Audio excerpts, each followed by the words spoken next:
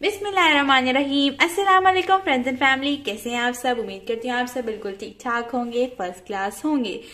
तो आज जो हम बनाने जा रहे हैं, वो है आलू चिकन की टिक्कियाँ, जिसके लिए इंग्रेडिएंट्स डिस्प्ले पर मौजूद हैं।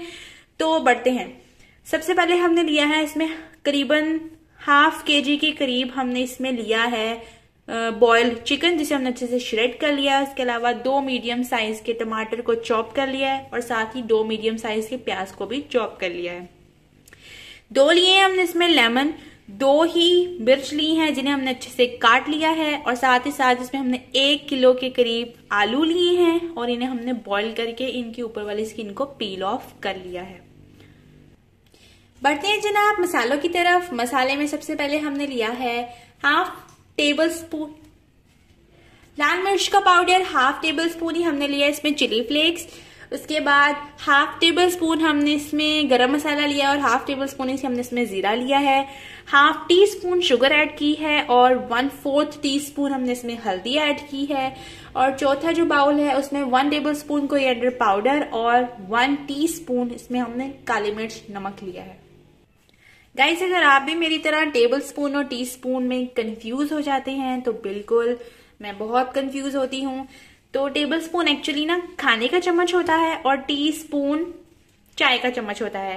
Table spoon usually teaspoon से बड़ा होता है। चम्मच मैं आपको दिखा रही हूँ, अगर आपके पास मयरिंग प्रॉप्स ना हो तो आप ये चम्मच यूज़ कर सकते हैं। The right one is tablespoon and the left one is teaspoon बारी आती है आलू को मैश करने की। तो चले मैश करना स्टार्ट करते हैं।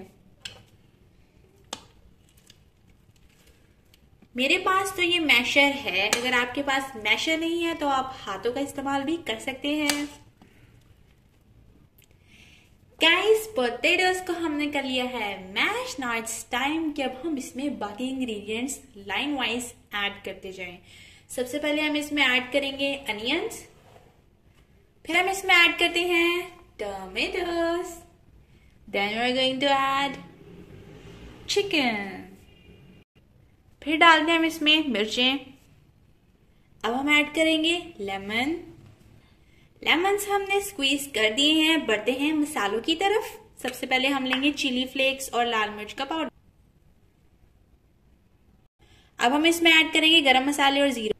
फिर हम इसमें ऐड करेंगे कोरिएंडर पाउडर और काली मिर्च का पाउडर लास्ट पे हम ऐड करेंगे हल्दी और शुगर। जैसे मैंने शुगर ऐड की है प्लीज़ डोंट गेट कंफ्यूज ये मैंने कोई अपनी टिक्कियाँ मीठी करने के लिए ऐड नहीं की।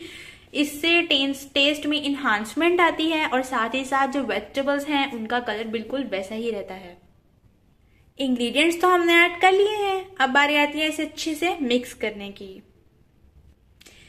अच्छा जी तो सारे इंग्रेडिएंट्स को हमने बहुत अच्छे से मिक्स कर लिया है। नाउ इट्स टाइम कि अब हम इन्हें जरा टिक्कियों की शेप में कन्वर्ट कर लें। स्टे ट्यून्ड ये देखिए जनाब, हम टिक्की बना रहे हैं। बिल्कुल इसको हाथ से शेप दे रहे हैं। और अब हम इसे गोल कर रहे हैं।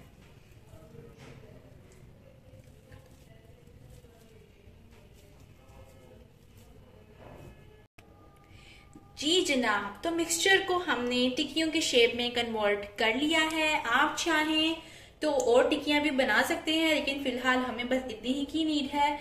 आप चाहें तो इसे बर, इस जो बाकी मिक्सचर बचा है आप इसे बर्गर्स में भी यूज़ कर सकते हैं इसके सैंडविचेस भी बना सकते हैं।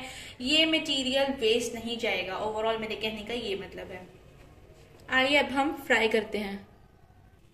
तो जी, ले लिया है हमने एक पैन अब हम इसमें ऐड करेंगे ऑयल आप कोई भी ऑयल ले सकते हैं coconut oil mustard oil olive oil any oil you can have oil हमने हल्की आँच पे रख दिया है फ्राई होने के लिए. इसके कोटिंग प्रोसेस की तरफ़ हम बढ़ते हैं. टिक्कियाँ तो हमने बना ली थी जनाब, अब हमने उसकी कोटिंग करनी है. कोटिंग करने के लिए डिस्प्ले पे इंग्रेडिएंट्स आपके सामने हैं, अब हम आपको कोटिंग करके दिखाएँगे. लिए हैं हमने दो अंडे। साथ थ्री टेबल स्पून हमने बेसन लिया है और साथ ही साथ हमने वन टेबल स्पून जीरा लिया है, वो भी हम इसमें ऐड करेंगे।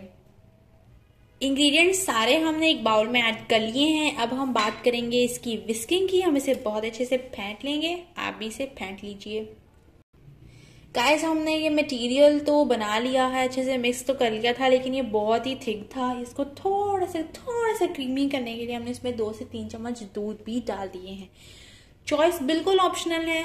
आप चाहें तो कर सकते हैं बट अगर आप इसमें दूध ऐड कर दें तो दैट विल बी फाइन ये देखिए कंसिस्टेंसी कुछ इस तरह की हो जाएगी तो आपका ये कोटिंग बिल्कुल रेडी है। तो अब आप इसे फर्दर प्रोसेसिंग के लिए यूज़ कर सकते हैं। साइड पर साइड जो ऑयल हमने रखा था, वो हो गया है गरम नाइट्स फ्राई टाइम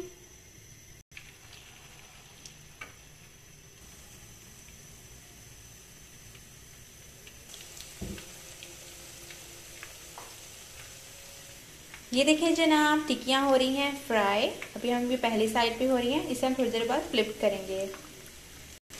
अब हम इसे फ्लिप करने वाले हैं. इसकी एक साइड फ्राई हो चुकी है.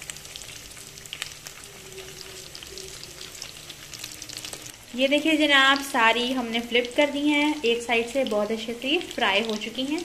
वेट करते हैं इसकी दूसरी साइड को अच्छे से फ्राई होने का। जी जनाब तो ये टिकिया फ्राई करके इसको हमने दे दी है final look hope you guys are liking it please please आप इसे ट्राई कीजिए। बहुत इजी बहुत यमी बहुत टेस्टी लुक है। Look how crispy it is oh my God guys you have to try this okay मिलते हैं आपसे अगली वीडियो में। तब तक के लिए अल्लाह हाफिज।